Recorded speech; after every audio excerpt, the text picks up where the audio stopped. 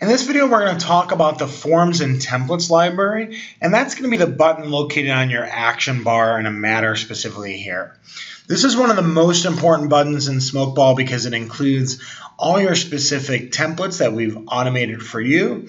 It includes some specific templates that Smokeball already has that you can use, you can modify, make your own, but it's also going to be the home for all those court and authority forms. And what we mean by court and authority forms is any form you can go to a website, maybe like a Secretary of State's office or a court website, pull off and download a PDF Title companies or agency would be another great example of what you could find in this forms and templates library. If I go ahead and click on this, it's going to go ahead and open up the form and letter library and default to folder. It is important to note that in this specific file, I'm subscribed to pretty much every form suite across every area of law and every jurisdiction. So I'm in a California matter here, and you can see I have a lot of folders. In this case, unless you're a completely general practice and you subscribe to every form suite, you're probably not going to see all these folders. But it's important to note that what we've done is it, it, defaults to a specific folder. In this case, I'm working on a pre-decree, so I have my pre-decree uh, specific files here. What you'll notice is we do have some smokeball forms. In this case, I know it's a smokeball form because you'll see kind of an orange dot as well.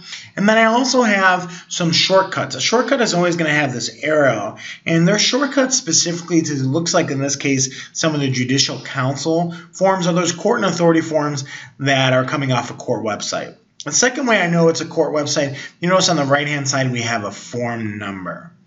And what we try to do is just put the more popular forms that you're going to use frequently up here available for you. You can always right click if you didn't want to see a specific one to delete it, and we'll show you how to create a shortcut uh, to some additional documents.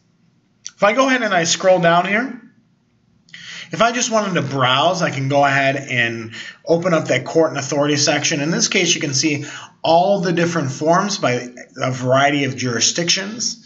So I could come in here and see all the different uh, federal forms if I'm subscribed to, real estate forms. And you can see even the specific counties. What's going to populate under here is going to be based on what specific file you're in as well as what you're subscribed to under those form suites again. So if you don't see anything down here, make sure you see our form suites video of how to subscribe to there.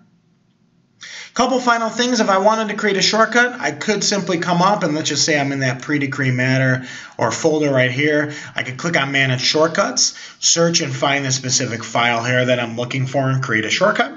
So check out the video if you want to see in depth on how to create a shortcut or the article on that. And finally, I do have the ability to search and we do have a refined video that shows you all the different functionalities of how this search works. But I could search by a specific form number and it pulled up the form number. And I can also search by just name. So if I typed in petition. Last thing I'll say on this is if you don't see anything that pops up in the specific folder, make sure you just search all folders. And atop that, you want to make sure if you are searching in the form and templates library that what you're searching for is just very specific. But check out the search video and the other videos on the Forms and Templates library and how to navigate this. If you're ever finding a form in this library that's missing, just let us know. Send us a link as well as the form number to the jurisdictional or Secretary of State page, and we'll work on getting that in here in Smokeball for you to automate.